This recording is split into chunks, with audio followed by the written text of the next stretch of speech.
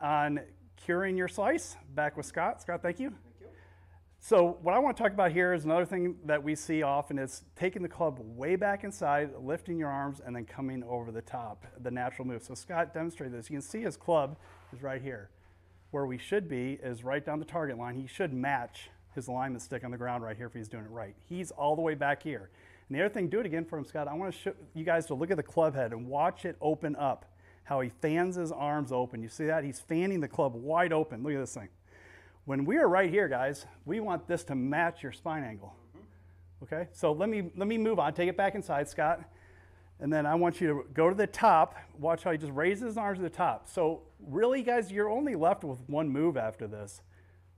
The over the top, right there. So you whip inside, lift your arms, and then come over the top. There you go, good. So the first cure for this slice is fixing this takeaway, okay? Now, when I, when I look at the takeaway, I feel like we need to have a one-piece takeaway till he gets to his right thigh, and then coming up to here, we want to make sure we're with the alignment stick matched it. Okay, and this is matching his spine angle. Notice that, okay? Perfect, thank you.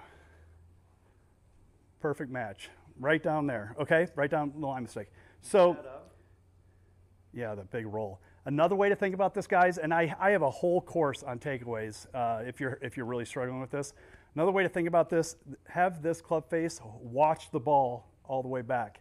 If I go like this, it doesn't do it. Right. So I'm going to show you, Scott, if you will sit up to that again. And I'm going to have his take, take his trail hand off the club.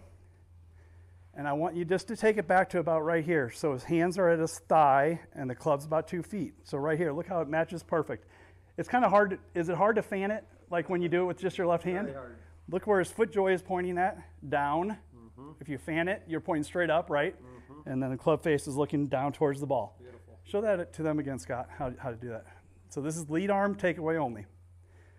Perfect. And he's right down the line here, his target line set up perfect.